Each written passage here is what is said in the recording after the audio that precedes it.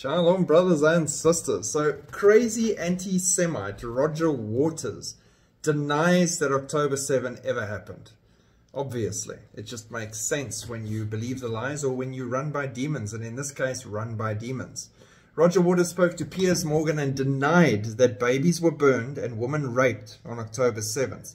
There's no evidence, Waters says. Then he turns to his left and starts speaking to himself. Right? I'm going to post this clip here. You have a look at it.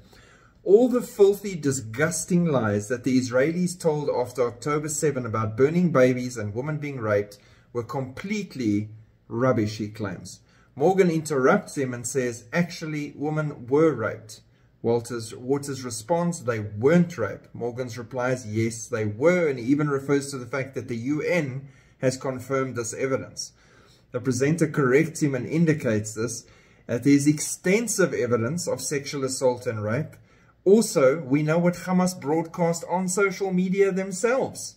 At this point, Waters turns to his left and has a full-on conversation with seemingly himself, but I'm telling you, he's communicating with a demonic entity, familiar spirit. You can see in the way he's doing it, he's not trying to be funny, he's not joking, he's very emotional and angry, and he's being pulled, his actual attention. He is seeing something, he is listening to something and having a full-on conversation with this thing before he comes back to Piers Morgan and continues with the interview. That is what's happening. People are clouded demonically by spiritual powers and principalities. And if you go to Ephesians 6 from verse 10, it says the following Finally, my brethren, be strong in the Lord and in the power of his might. Put on the whole armor of God, that you may be able to stand against the wiles of the devil. For we do not wrestle against flesh and blood, but against principalities, against powers, against the rulers of the darkness of this age, against spiritual hosts of wickedness in the heavenly places. Therefore, take up the whole armor of God, that you may be able to withstand in the evil day, and having done all to stand. Then it continues and tells you exactly how to wear the full armor of God. We are seeing this. This that you'll see in this clip I'm going to attach to this video.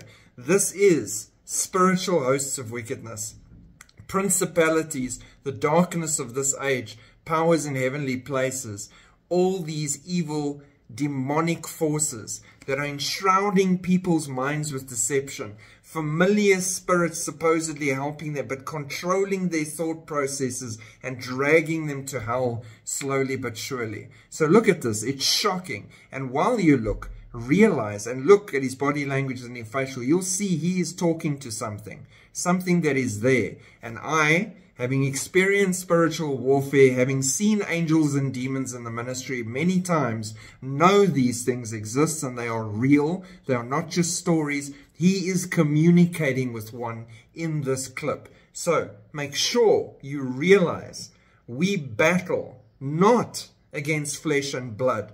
We battle against those things he's busy talking to in this clip.